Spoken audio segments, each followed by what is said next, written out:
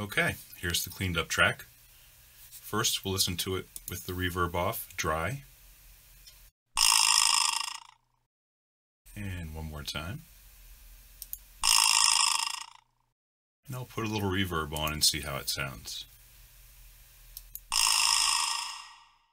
And again.